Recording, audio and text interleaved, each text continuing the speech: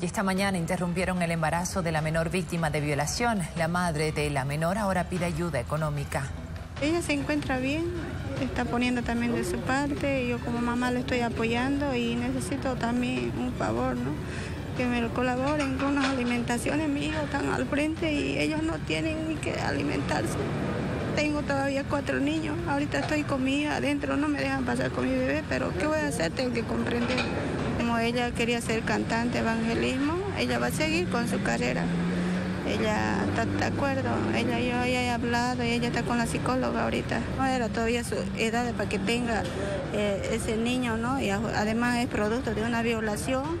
La persona que abusó de mi hija es una persona mayor de 48 años. Así que yo no, yo no, yo no apoyo esa parte. Yo deseo que mi hija esté libre, tranquila, porque ella era una niña adolescente